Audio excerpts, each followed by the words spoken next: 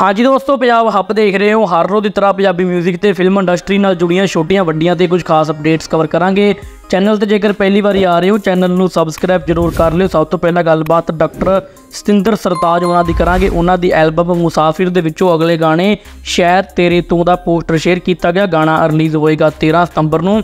ਇਸ ਦੇ ਨਾਲ ਹੀ ਗੱਲਬਾਤ ਅਫਸਾਨਾ ਖਾਨ ਦੀ ਕਰਾਂਗੇ। ਅਫਸਾਨਾ ਖਾਨ ਤੇ ਬਾਦਸ਼ਾਹ ਉਹਨਾਂ ਦਾ ਗਾਣਾ ਕੱਲ ਨੂੰ ਰਿਲੀਜ਼ ਹੋਏਗਾ ਨਸ਼ਾ ਟਾਈਟਲ ਦੇ ਨਾਲ ਤੇ ਇਹ ਗਾਣਾ ਇੱਕ ਬਾਲੀਵੁੱਡ ਮੂਵੀ ਦੇ ਵਿੱਚੋਂ ਰਿਲੀਜ਼ ਕੀਤਾ ਜਾਵੇਗਾ। ਅੱਗੇ ਵਧਦੇ ਤੇ ਗੱਲਬਾਤ ਕਰ ਲੈਨੇ ਆ ਆਪਾਂ ਕਰਨ ਔਜਲਾ ਦੇ ਬਾਰੇ। ਕਰਨ ਔਜਲਾ ਦੇ ਬਾਰੇ ਕਾਫੀ ਵੱਡੀ ਅਪਡੇਟ ਨਿਕਲ ਕੇ ਸਾਹਮਣੇ ਆ ਰਹੀ ਹੈ। ਫੇਸ ਮੈਗਜ਼ੀਨ ਦੇ ਕਵਰ ਆਰਟ ਦੇ ਉੱਤੇ ਕਰਨ ਔਜਲਾ ਫੀਚਰ ਹੋਇਆ ਹੈ, ਜਿਸ ਦੇ ਬਾਰੇ ਉਹਨਾਂ ਦੀ ਇੱਕ ਇੰਸਟਾਗ੍ਰam ਪੋਸਟ ਨਿਕਲ ਕੇ ਸਾਹਮਣੇ ਆਉਂਦੀ ਹੈ।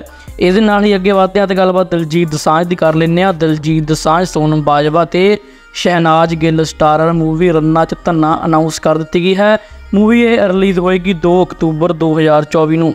ਅੱਗੇ ਵਧਦੇ ਤੇ ਗੱਲਬਾਤ ਪਰਮੇਸ਼ ਵਰਮਾ ਉਹਨਾਂ ਦੀ ਕਰ ਦਿੰਨੇ ਆ ਉਹਨਾਂ ਦਾ ਵੀ ਨਵਾਂ ਟਰੈਕ ਲੈਂਬੋ ਫਲੋ ਰਿਲੀਜ਼ ਹੋ ਚੁੱਕਿਆ ਹੈ। ਗਾਣੇ ਦੀ ਵੀਡੀਓ ਵੀ ਰਿਲੀਜ਼ ਕੀਤੀ ਗਈ ਹੈ। ਨਾਲ ਹੀ ਦੋਸਤੋ ਜਾਰਜ ਗਿੱਲ ਦੇ ਵੀ ਨਵੇਂ ਗਾਣੇ ਟਰੱਕਾਂ ਵਾਲੇ ਦਾ ਪੋਸਟਰ ਸ਼ੇਅਰ ਕੀਤਾ ਗਿਆ। ਇਹ ਗਾਣਾ ਰਿਲੀਜ਼ ਹੋਏਗਾ ਉਹਨਾਂ ਦਾ 16 ਸਤੰਬਰ ਨੂੰ। ਇਸ ਦੇ ਇਲਾਵਾ ਦੋਸਤੋ, ਸ਼ੂਟਰ ਕਾਲੋਂ ਦੇ ਵੀ ਨਵੇਂ ਗਾਣੇ ਖੜਾਕ ਦਾ ਪੋਸਟਰ ਸ਼ੇਅਰ ਕੀਤਾ ਗਿਆ। ਗਾਣਾ ਉਹਨਾਂ ਦਾ 21 ਸਤੰਬਰ ਨੂੰ ਰਿਲੀਜ਼ ਹੋਏਗਾ।